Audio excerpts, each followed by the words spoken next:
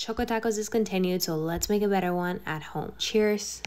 Yum. Here's a side-by-side comparison of the OG and my Choco Taco. We're starting off with a sweet and crunchy waffle cone. You don't need a special machine for this. Everything happens in your oven. Simply fold it by hand while it's still warm. Allow it to cool, then fill it with ice cream. Then get your taco and dip it in mm-hmm. chocolate, just like so. And next up, we sprinkle peanuts all over this. But feel free to customize it with your favorite toppings. We have toasted coconuts, sprinkles, and all the fun stuff.